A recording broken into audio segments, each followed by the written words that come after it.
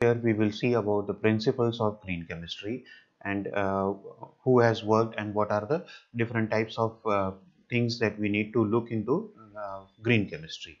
The word green chemistry was termed by Professor Paul Anastas who has worked a lot in bringing out this green chemistry and so rightly he has been uh, known as father of green chemistry. The green chemistry aims to eliminate or at least reduce the pollution by preventing it from happening as far as possible. In this green chemistry, we aim or we uh, change the processes in such a way that they either eliminate or they at least reduce the pollutions uh, that are being happening so that uh, there will be uh, changes in the chemical reactions chemical processes are desired uh, according to the green chemistry principles the goal of green chemistry is to design synthetic methodologies that reduce or eliminate the use of uh, or generation of toxic products, byproducts, solvents and all other associated products. We have the 12 principles such a way that first principle states that uh, prevention of waste, the waste should be prevented as far as possible. Second principle uh, talks about atom economy that is maximum amount of reactant must be incorporated into the product. Third uh, principle states the non-toxic products. Products should be uh, such a way that they are non-toxic. The products that we are uh, manufacturing, those products must be non-toxic products.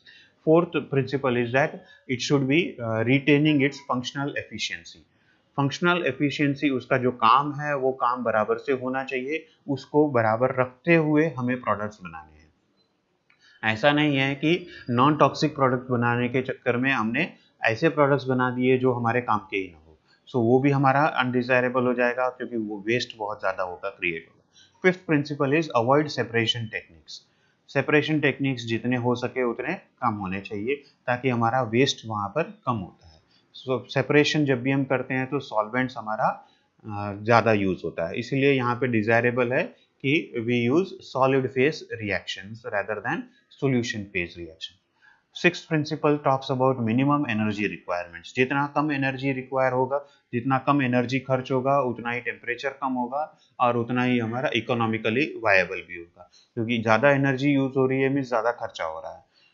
Principle talks about starting materials from renewable uh, sources. Like in the adipic acid we had used glucose instead of benzene. Then uh, eighth principle says that there should be no derivatization unnecessary derivatization हमें रोकने चाहिए। Protection protection deprotection steps या blocking steps या temporary modification steps यहाँ पे नहीं हो उतना बेहतर है।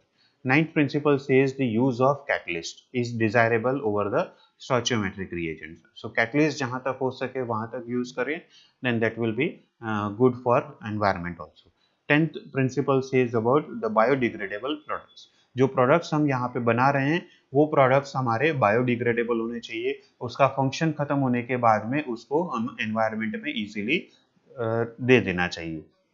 इजीली डिग्रेड हो जाने चाहिए। ज़्यादा समय तक वहाँ पे एनवायरमेंट में रहने नहीं चाहिए। That is tenth principle eleventh principle is strengthening of analytical techniques हमें एनालिटिकल टेक्निक्स को फर्दर मॉडिफाई करना है।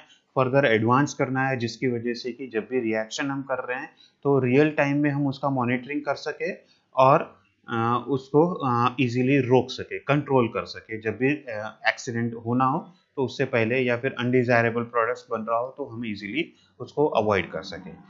Twelfth principal talks about avoiding chemical accidents chemical accidents are very uh, harmful so they should be avoided as far as possible. So these are the 12 principles of green chemistry. Thank you. Thank you very much